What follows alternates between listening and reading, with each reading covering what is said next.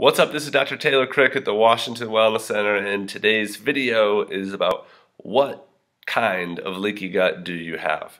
Um, and I think that that's an intriguing title because I think that most people have heard of leaky gut but have absolutely no idea that there are multiple types of leaky gut and that that can be detected and that they they matter very much so on a, on a clinical level. Some are harder to, to fix and uh, some they're just very, very different. So I want to explain uh, this concept of what kind of leaky gut do you have and explain how to test that. So with leaky gut, let's start there. Little brief background before we get into that. But you know, many people have seen um, an image like this maybe, and what we're seeing right here is that this is the the gut lining right here. These are the gut cells, and these are what's called the microvilli of the gut. And so this is food. You can see here undigested food particles. Maybe it's microorganisms. Maybe it's toxins. Uh, that's a sign that this journal was probably published in another language. Um, and here's a faulty tight junction. And we often just see this picture of like, oh, these tight junctions have broken apart and now the gut is leaky. And, you know, we kind of explain it in an elementary sense, but it's true too. But there's more to it, and that's what we're going to go through. So then they get into the blood and they lead to inflammatory, immunological, autoimmune, or neoplastic reaction. So that's like your traditional leaky gut. Here's a graphic that we use in our office a lot, in our clinic a lot, from Nature Reviews, uh, Gastroenterology, and Hepatology. And the point of this is, I'm, going to go through it quickly, but just to show you that there are multiple forms of leaky gut or multiple stages of leaky gut. And this is what we use to describe this to our patients. And we don't describe this whole chart, of course, but it kind of makes sense that this is a spectrum. Leaky gut is a spectrum, and gut damage is a spectrum. So here are some of the variables that, that determine you know, where you're going to fall on that spectrum? Do you have a lot of secretory IgA? Do you have a lot of good bacteria? Do you have a lot of mucus production?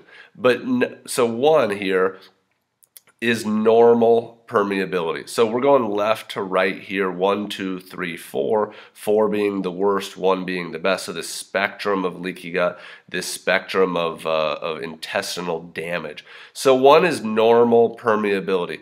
Good things can get in, bad things stay out, but you have normal permeability. That's where we all want to be. We all want to have this thing down here called mucosal tolerance, which is down here on the good side.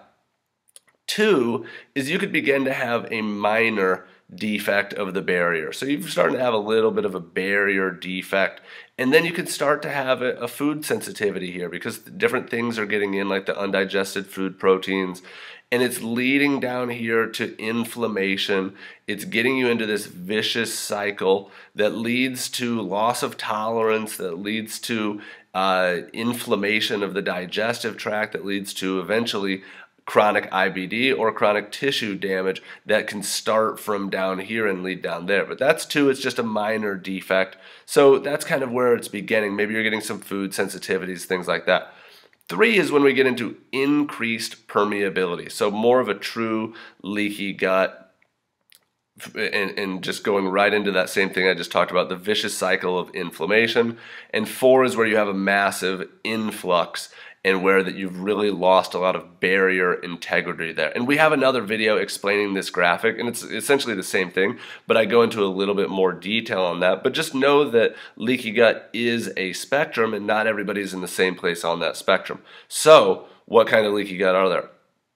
So there are two pictures here, or two things here, called a paracellular pathway, and that's more like um, going back to this, that's more like between the cells, right? So getting between the cells is a paracellular pathway. I'm pointing to the screen like you can see me, right between the middle of those um, cells. And that's when the tight junctions break and things can get in, and that's traditionally what we think of when we, when we visualize leaky gut. But there's also the transcellular pathway, and what that means is that things are coming right through the middle of the cell. Like the cell wall has lost so much integrity that now things are going right through the middle, and that's not good. And seriously, the, the transcellular is harder to correct.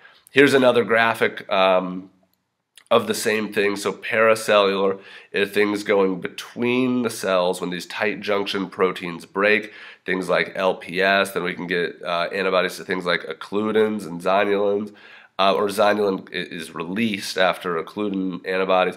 Um, or this is transcellular right through the middle. So how do you know? Cyrex offers a test that, that can tell you this, and we've found a lot of value from this um, just with, with leaky gut.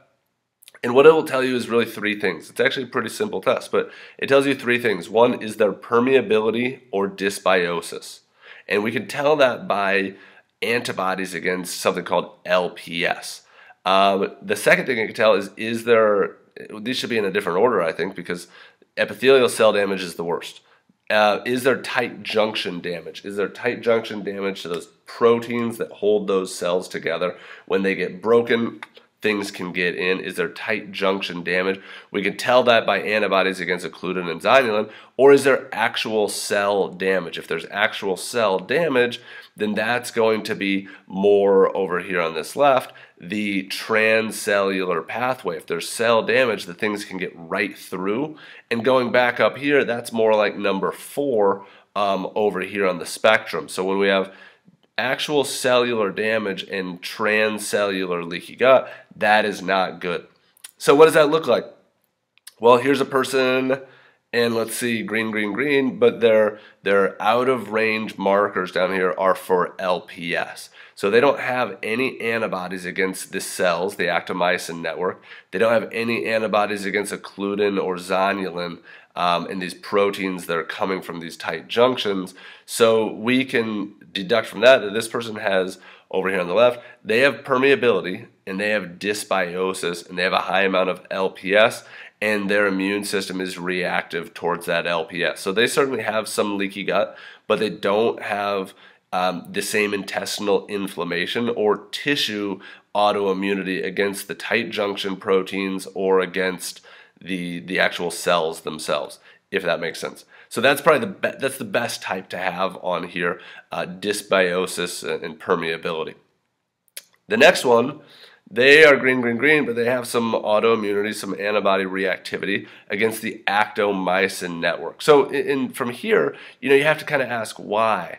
And, and you know, is it SIBO or is it you know, something else? Is it a food sensitivity that's causing this or what's triggering this? And SIBO is, is common that it damages the cytoskeletal proteins uh, of the actual cell structure itself. So that's a possibility. Um, but this one was just the actomyosin. This one is a little bit of both. So occludin and zonulins are, are out of range, so we know that there's attack against the tight junction proteins causing that transcellular um, transcellular leaky gut. And then there's also autoimmune reactivity against the actomyosin network, so that's the cells. So this person has kind of the worst of both worlds. They've got a little bit of both. They've got things coming in between the cells, they've got things coming in through the cells, and, and that's not necessarily good. So on this chart, this person is kind of beyond number three and moved into number four here.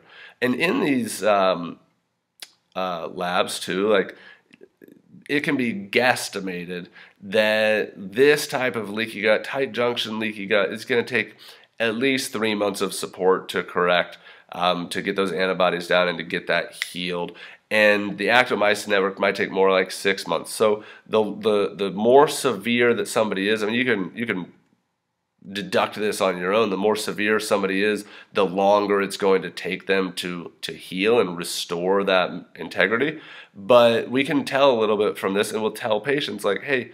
Uh, you this is what you can expect is that because you have this type of leaky gut we're going to have to continue working on this for a while so, what kind of leaky gut do you have? Interesting concept that most people aren't very familiar with, and it's something that I think is really, really important, and something that I think that you can and should get tested if you're curious about your gut integrity. We've also had people come back all green, and then you know it's a really, it's just really good um, that we don't see any autoimmune um, autoimmune reactivity against the gut causing leaky gut does not mean that they don't have a leaky gut. Everybody's gut is selectively permeable, and that permeability changes uh, all the time.